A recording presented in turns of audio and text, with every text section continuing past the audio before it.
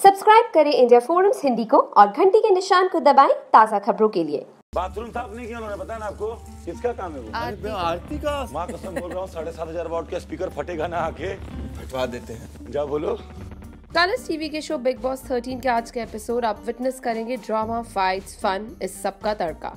देखिए आज की एपिसोड अपडेट अच्छा याद दिलाया। किधर बाथरूम गंदा है? एक्चुअली में गंदा है मैंने बोला यार। नहीं मैंने बोला था जाके कि मैं रात को करूँगी? अभी कर दीजिए प्लीज़ चलिए आपके लिए मैं बाथरूम साफ़ कर देती हूँ जाकर कर दीजिए। देखा मैंने बोला ना इतना क्यों सकासी हो जाती हो यार? आप आरती मालूम है क्या प्रॉब्लम है आप तो रही हूँ आप क्या करोगे? सर पे मारोगे क्या?